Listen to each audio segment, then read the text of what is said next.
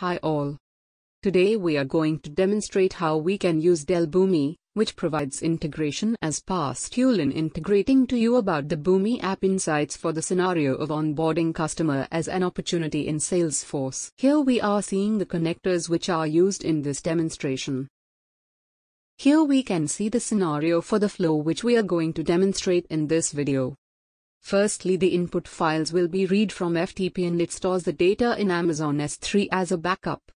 And then it will create accounts in Salesforce and then we will extract account ID from the Salesforce account. Using account ID as a reference, it will create contact and opportunity. After completion of all the process, a notification mail will be sent to the user based on the resulting success or failure. Now let us dive into the demo. Here we can see the input files which we are using for this demo. The data in these files will be going to store in Amazon S3 and at the same time, it creates Salesforce contact and opportunity with the sync of the account object. Here we have already installed an Atom onto Windows machine. On a very high level in Dell Boomi, we have created a process to read data from FTP and to push it to the queue. Click on the Run button. It shows the pop-up select the local atom and then click on Run Test. And we create another process called BCLE Framework to retrieve data from a queue and to populate it into the UI. The data in the input files will be going to store in Amazon S3 and at the same time, it creates Salesforce contact and opportunity with the sync of the account object. While creating an account in Salesforce we used SIC number as a reference, and in the payload, we are getting the account name as an output. Using this reference variable, we have created a contact and opportunity objects.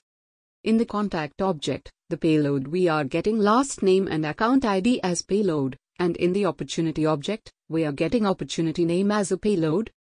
Here we can see the process has been completed successfully.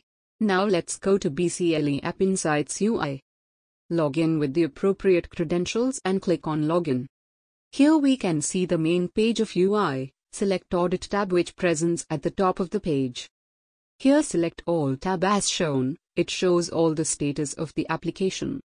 Click on the log file to view the logs of the application. Mail will be received to the user email with the insertion successful message. Here we can see that the input files from FTP were stored into Amazon S3 as backup. Now let us view the data in all the four files. Now let us log into Salesforce account by providing the appropriate credentials. Now let us click on the Accounts tab as shown. Here we can see the data input files were inserted into Salesforce. Click on any one of the inserted data to view the details as well as SIC code. Click on the Contacts tab where we can view the list of contact details created with the reference of SIC code in account object. Click on any one of the inserted data to view the details of it. Click on plus button as shown. Select Opportunities. Here we can see the list of recent opportunities created with the reference of SIC code. Click on any one of the opportunity to view the details of it.